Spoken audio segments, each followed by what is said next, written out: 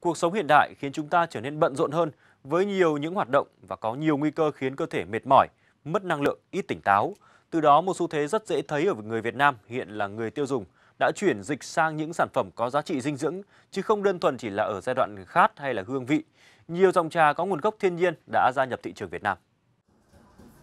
Đã có từ lâu đời, trà yerba mate là thức uống được tiêu thụ hàng đầu ở Argentina. Trung bình mỗi người dân tiêu thụ 6,4 kg trà một năm và hơn 90% hộ gia đình đều uống yerba mate.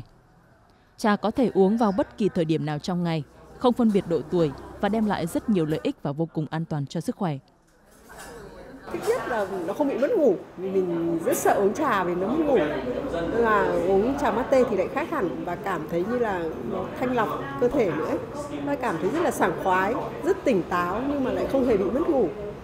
và ờ, thêm nữa là ở quán này thì nó lại có rất nhiều các cái vị ờ, như là hoa quả nhiệt đới, nó uống vào rất là dễ chịu.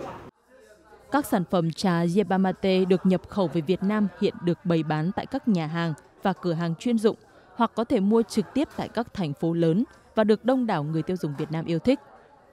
Tính đến thời điểm hiện tại đã có 7 tấn trà mate đã được tiêu thụ tại thị trường Việt Nam với nhiều hình thức trình bày, trong đó có dạng truyền thống, túi lọc hay dạng để pha bình phong cách Pháp. Well, British tea is quite bitter and quite strong, whereas um, we drink British tea we kind of drink on a regular basis, like for your normal day-to-day thing to keep you more awake and more like kind of like coffee in a way, but um, whereas this is not as bitter, it's more enjoyable more. Menu tại ờ, uh, Matia thì rất là đa dạng.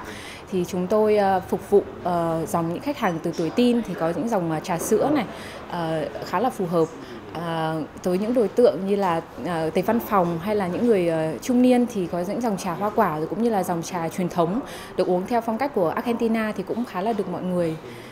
đón nhận vì nó mang lại rất là nhiều cái lợi ích cho sức khỏe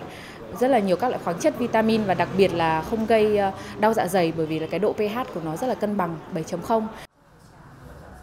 Việt Nam Argentina là đối tác thương mại lớn thứ ba khu vực Mỹ Latin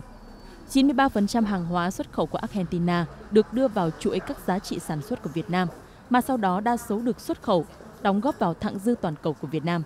Yerba mate ra mắt tại Việt Nam trong giai đoạn kinh tế đang gặp nhiều bất lợi trước các tác động của đại dịch COVID-19. Song các nhà sáng lập thương hiệu mate vẫn lạc quan chuỗi đồ uống Jeba mate sẽ có sự phát triển khả quan nhờ sự thay đổi linh hoạt và nhạy bén.